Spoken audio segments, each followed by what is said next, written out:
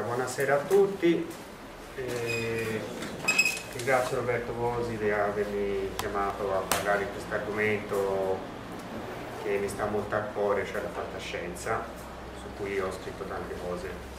E stasera ho scritto un breve articolo che sintetizzo, poi chi vorrà leggerlo per intero lo troverà pubblicato sulla mia rivista online segreto di pulcinella.it a settembre. Esistono diverse teorie scientifiche che fanno riferimento al multiverso ed è da queste che prendono spunto le storie fantascientifiche e in genere fantastiche che parlano di universi paralleli. Nella scienza le teorie del multiverso afferiscono alla fisica quantistica, ma non è naturalmente necessario essere scienziati per apprezzare un romanzo o un racconto ambientato in un universo parallelo. Anzi, di rado le spiegazioni scientifiche si addentrano in tematiche così specifiche tanto più che stiamo parlando delle ricerche più avanzate nel campo della fisica, oggetto di accese discussioni da parte degli stessi addetti ai lavori. Questo genere di letteratura si può suddividere in due grandi aree tematiche, a seconda che il mondo alternativo abbia origine o meno dal mondo in cui viviamo. Vi spiego meglio. Un universo parallelo al nostro, con gli stessi luoghi e personaggi, ma in cui gli eroi sono i cattivi e viceversa, cosa che avviene ad esempio nella serie di Star Trek, è ben diverso da un ipotetico presente in cui Hitler ha vinto la guerra. Abbiamo un esempio di universi paralleli del primo tipo nella già citata serie di Star Trek. In un episodio della serie classica, a causa di un guasto a teletrasporto, il comandante Kirk, il medico McCoy e il tecnico Scott si trovano in un universo parallelo, l'universo dello specchio, in cui l'equipaggio dell'Enterprise si comporta in modo malvagio e violento. La stessa tematica viene ripresa anche in un episodio della serie Enterprise, il prequel degli anni 90 della serie classica. Un altro esempio è rappresentato da Assurdo Universo, scritto negli anni 40 dallo statunitense Frederick Brown. Si tratta tra l'altro di un curioso caso in cui la fantascienza parla di se stessa.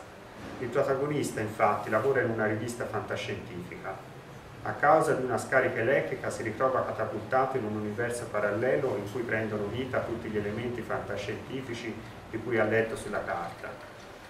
Al momento della scarica elettrica infatti è stato messo in comunicazione con tutti gli universi possibili e in qualche modo il suo subconscio ha scelto quello più attinente alla sua personalità e ai suoi pensieri al momento del contatto. Il grande Philip Dick negli anni 60 ha pubblicato due interessanti romanzi, le, le tre stimmate di Palmer, Eldritch e Ubik. Nel primo viene introdotto il tema degli allucinogeni come fuga dalle realtà e porta verso altri mondi. Il CEV-Z annulla infatti lo spazio e il tempo e consente di sperimentare la vita in mondi fantastici, un po' come la spezia del ciclo di Buio. Come scrivono Fabio Giovannini e Marco Minicangeli nel loro saggio Storia del romanzo di fantascienza, se i romanzi di Dick si possono considerare come delle tappe della de definizione del concetto di realtà, allora il grammatico dibattito sull'essenza del reale si conclude proprio con Le Crestimmate di Palmer Etrich, opera che rappresenta quasi la resa dello scrittore di fronte all'inconoscibile. Dick descrive il caos dell'universo spazio-tempo come successione di allucinazioni e allo stesso tempo introduce un elemento nuovo, una vaga alternativa mistica. In Ubik, romanzo dalla trama molto complessa, ritorna il tema della droga. Pare che lo stesso Dick ne assumesse durante la scrittura. È quello ricorrente dell'abile confine della realtà, della vita e della morte, il protagonista infatti, tenuto in animazione sospesa come una sorta di semivita, arriva ad affermare io sono vivo, voi siete morti, che è una frase celeberrima. Non ho trovato molti altri esempi di mondi paralleli del primo tipo della fantascienza pura. In compenso abbondano esempi eh, di mondi del secondo tipo. C'è anzi filone, ehm, un filone narrativo speciale, la cosiddetta ucronia, o storia alternativa, Ucronia dal greco nessun tempo richiama non a caso il termine utopia, nessun luogo. È un filone molto ricco, a metà strada tra storia e fantasia.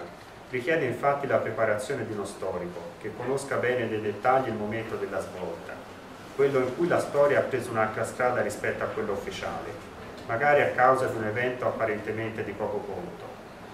Esaurire l'argomento breve tempo è ovviamente impossibile, ma può essere interessante fare una rapida carrellata delle varie opere croniche, partendo dalla, dalla domanda cosa sarebbe accaduto se? Cosa sarebbe accaduto se l'impero romano non fosse mai scomparso? Una possibile risposta la troviamo nell'interessantissima trilogia di Sofia McDowell che parte dal romanzo Romanitas. Il 2004, in cui è ambientato il romanzo, sarebbe l'anno 2757 ab urbe conditas. Il mondo sarebbe più tecnologicamente avanzato rispetto al nostro, perché non ci sarebbe stato il cristianesimo e il medioevo a frenare il progresso ci sarebbe ancora l'imperatore, le crocifissioni, con croci d'acciaio anziché di legno, e buona parte del mondo parlerebbe latino. Altro se, altro bivio. Cosa sarebbe accaduto se la seconda guerra mondiale avesse visto il nazismo vincitore? Quel triste periodo storico è di particolare fonte di ispirazione per molti scrittori cronici, vista l'importanza decisiva che ha avuto per i rapporti geopolitici attuali. A questa domanda hanno risposto tra gli altri Philip Dick in La svastica sul sole e Robert Harris con Fatherland. In entrambi i romanzi, usciti rispettivamente nel 62 e nel 92, si immagina un Hitler trionfante. Nel romanzo di Dick, Il mondo, Stati Uniti compresi, viene spartito tra nazisti e giapponesi. La storia si svolge negli anni 60, come nel romanzo di Harris ed è notevole anche per la presenza di un metalibro all'interno della narrazione, un'opera in cui Hitler ha perso la guerra, che risulta quindi fantapolitica nel mondo alternativo. I due piani narrativi corrono paralleli e complementari per tutto il romanzo. Breve parentesi a questo punto su un'altra opera fantascientifica di Norman Spirard, autore statunitense famoso negli anni 60 e 70. L'opera in questione è Il Signore della Svastica del 72 L'autore immagina un mondo cronico in cui Hitler, anziché il feroce dittatore che conosciamo, è diventato un autore di fantascienza, pubblicando un libro, ritorna al tema del metalibro, che ripropone i suoi deliri razzisti in chiave fantascientifica, con i mutanti al posto degli ebrei e umani sani al posto degli ariani.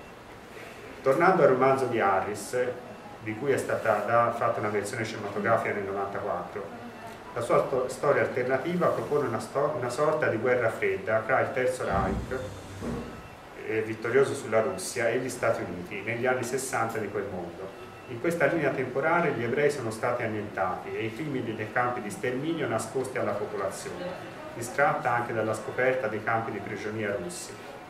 La verità comunque verrà a galla alla fine del romanzo. Rimanendo sempre sulla seconda guerra mondiale, non possiamo che citare il ciclo dell'invasione dell dello statunitense Harry Tartendorf, ciclo sviluppatosi negli anni 90 in quattro romanzi. L'idea originalissima sta nel presentare un'invasione aliena mentre le varie potenze mondiali si scontrano nel loro sanguinosissimo conflitto. Ovviamente la storia ne risulterà stravolta, con sviluppi interessantissimi. Abbandoniamo il tema della seconda guerra mondiale, su cui ci sarebbe comunque molto altro da dire, per esaminare altri interessanti sé della storia. Cosa sarebbe accaduto se Garibaldi avesse combattuto a Gettysburg alla guida, sì, alla guida dell'esercito nordista durante la, la guerra civile americana? Alla domanda risponde Pier Francesco Prosperi nel suo romanzo del 93 Garibaldi a Gettysburg. L'intervento garibaldino sarebbe paradossalmente disastroso e porterebbe alla vittoria dei sudisti e alla mancata unità italiana, con un Veneto in mani austriache ancora alla fine del XX secolo. Il protagonista, Andrea Venier, insegnante e grande ammiratore dell'eroe, dell dei due mondi, di ritorno da un viaggio in America trova spiegabilmente la sua Venezia trasformata. Si parla tedesco e si usa lo scellino come moneta. È uno dei casi in cui i mondi cronici si incrociano e in cui l'eroe deve ripristinare il corretto corso degli eventi. Cosa sarebbe accaduto se il computer fosse stato inventato nell'Ottocento? La risposta a questa domanda addirittura ha dato vita a un sottogenere della fantascienza, lo steampunk, derivato in parte dal cyberpunk.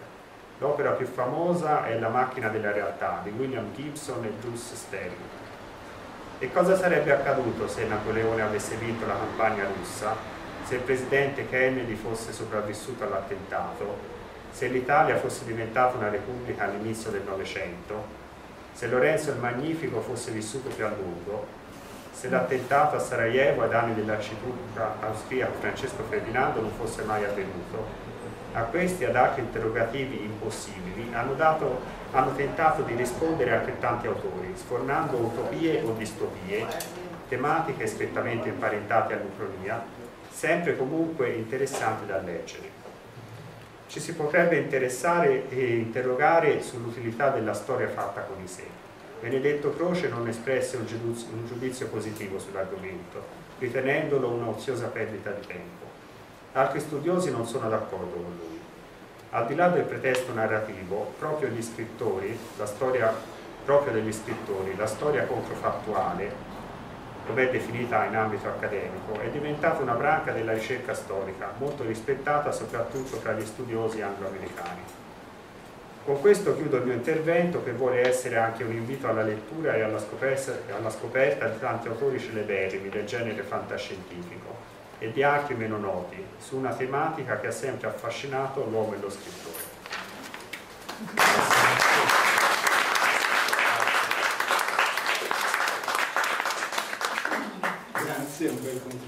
Grazie, un bel contributo. Grazie a voi.